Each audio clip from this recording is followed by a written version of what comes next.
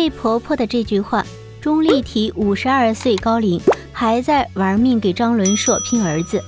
早前在一档节目中，钟丽缇曾问过婆婆这样一个问题：“如果我真的不会有孩子，你会怎么样？”怎料婆婆闻言当即拉长了脸，不顾其他嘉宾在场，强硬且明确地表达了自己的观点：“我会觉得非常的遗憾。”紧接着，老太太也说出了自己的心里话：“我不可能不想要个孩子，你没有孩子，我会非常的遗憾，我会心里不痛快。”简短而决绝的回答打断了钟丽缇欲言又止的设想。当然，我们也不能说老人家的思想有问题，毕竟按照老一辈的思想，不孝有三，无后为大。更何况张伦硕还是家中的独生子，肩负为家族传宗接代的重任。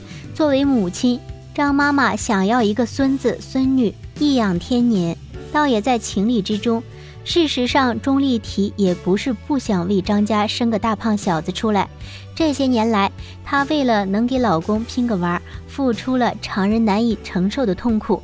即便三婚时便已经四十五六岁了，钟丽缇却从未放弃过生四胎的念想。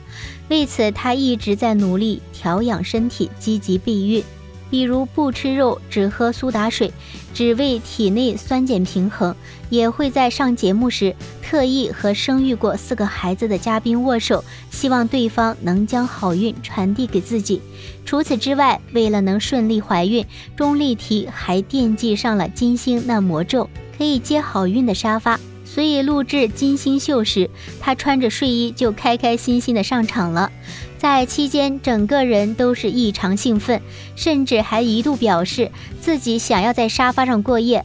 可想而知，钟丽缇为了生子的疯狂，并且值得一提的是，多年来为了能让自己的身体时刻保持在好受孕的状态，钟丽缇几乎每天都在锻炼。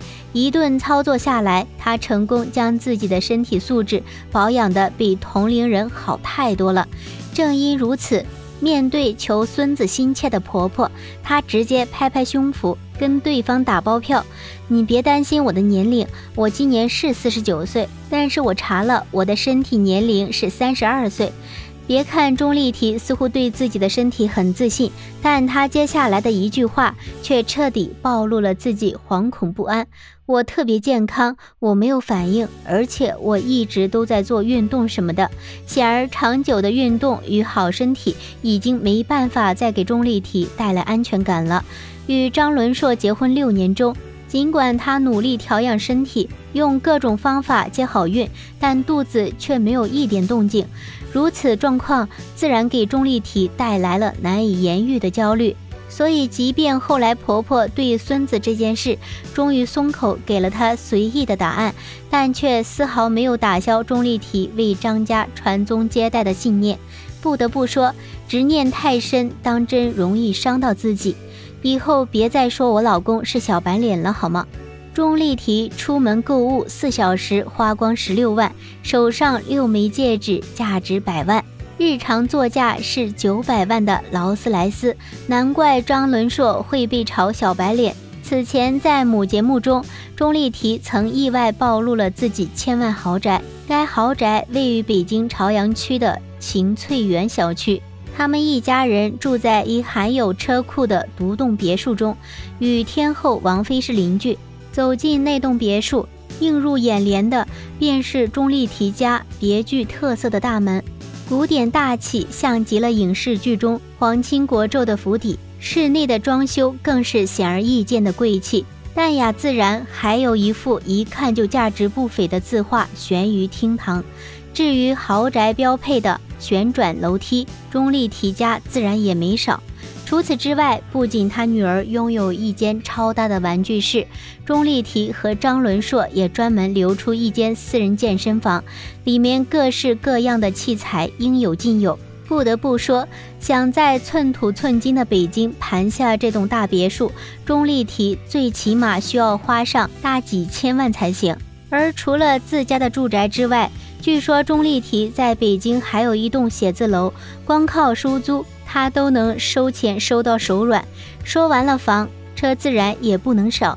钟丽缇名下豪车驾作无数，其中最值得一提的便是那辆价值高达九百万的劳斯莱斯幻影。该车不仅价值不菲，里头也大有玄机。星空顶上的每一颗星星的亮度都可以调节，可谓十分有趣。当然，在钟丽缇这儿。可以玩弄豪车还不算什么，毕竟他出门随随便便就是六枚超百万的大钻戒，七十万的腕表加身，简直将“毫无人性”四个大字写在脸上。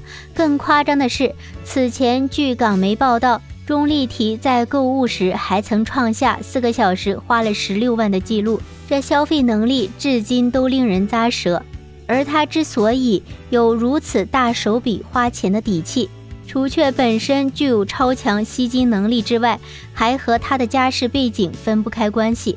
据传，钟丽缇的父亲是一位标准的港商，坐拥十几亿家产。钟丽缇作为家中唯一的女儿，自小便受到父母百分百的宠爱，过着小公主般的生活。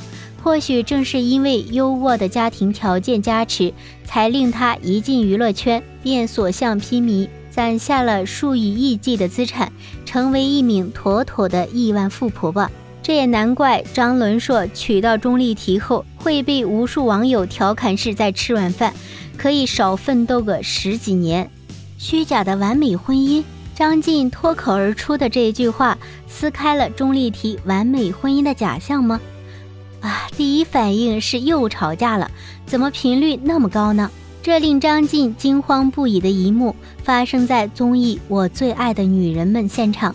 当时节目上的另一对明星夫妇张伦硕和钟丽缇，不知因为什么事突然一言不合吵了起来，两人争吵十分激烈，期间还伴随着重物倒地的声音，让人听着便心惊胆战。后来张伦硕面红耳赤地出现在众人面前时，还暴躁地冲钟丽缇狂喊。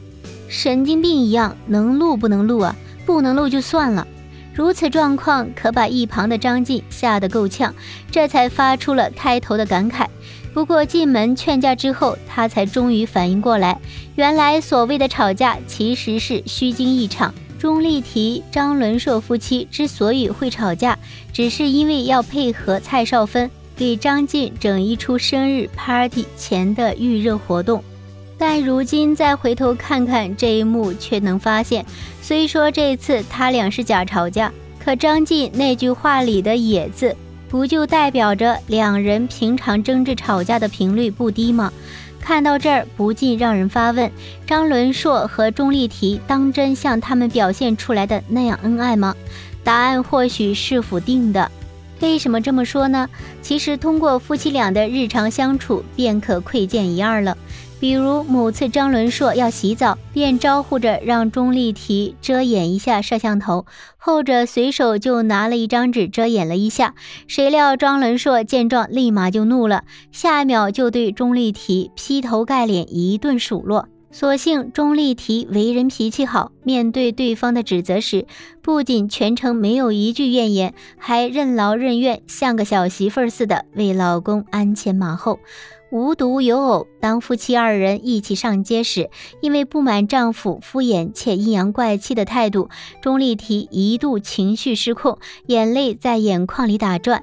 可面对妻子的悲伤，张伦硕却只说：“你这样子，我真的很累。”而他话还没说完呢，钟丽缇积压多日的情绪终于爆发，忍不住朝对方咆哮：“我也很累，你知道吗？”显而易见，这对曾经令无数人羡慕不已的姐弟恋夫妻，其实日常生活中也有许许多多的矛盾。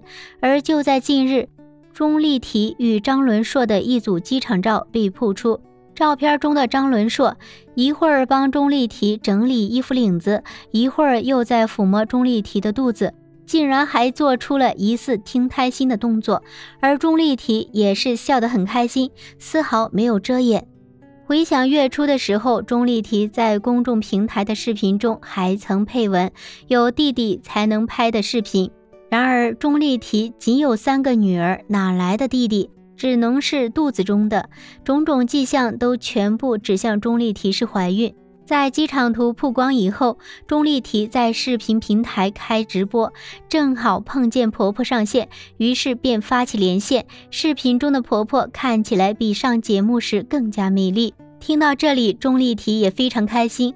后来两位又聊到了考拉，一聊到孩子，这下彻底将婆婆的话匣子打开，聊了好多小卡拉的事情。可以看出，婆婆对孩子还是非常喜爱的。联想之前婆婆提到生孩子的态度与这次完全不同，网友也纷纷猜测，可能是因为钟丽缇怀了四胎，婆婆对钟丽缇的态度大反转。真爱终究比不上孩子，就算在之前婆婆对钟丽缇的态度也非常和善，但是没有孩子，对于婆婆来说一直都是一个坎儿。言下之意就是。虽然婆婆对钟丽缇之前的孩子也当自家的孩子看待，但是毕竟不是带着血缘关系，还是有隔阂。而钟丽缇怀孕这些问题便迎刃而解，实在是讽刺。正因如此，两人到底是真爱还是假幸福，便一度成为了无数网友热议的话题。但俗话说得好，夫妻床头吵架床尾和，即便是同床共枕的夫妻，平时怎么会没有一点小摩擦呢？再者，婚姻生活到底是如人饮水，冷暖自知，外人是瞧不见其中的真真假假的。幸福与否，也只有两位当事人知晓。